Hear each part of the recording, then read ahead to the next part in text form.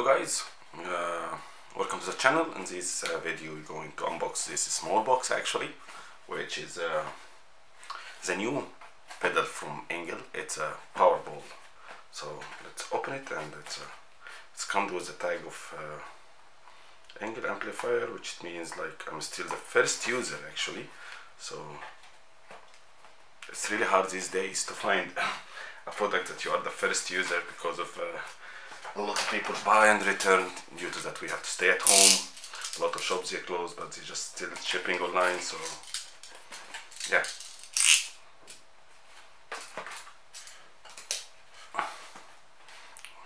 Let's open the box.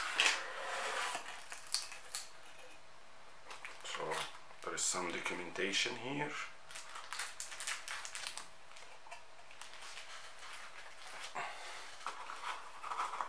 anyway, I'm not planning to turn this one actually at all because I know it will be one of the best distortion pedals. So yes, it is. So here is the pedal, as you can see. So same as like the pre-amplifier section, you get volume and gain, bass, middle and treble.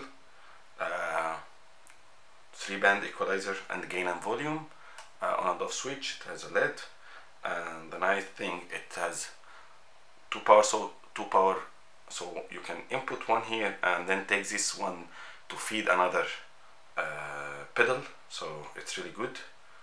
And uh, it has like a rubber foots down here.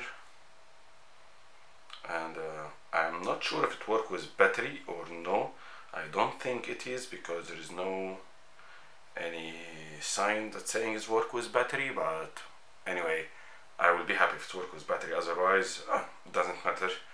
We can manage it.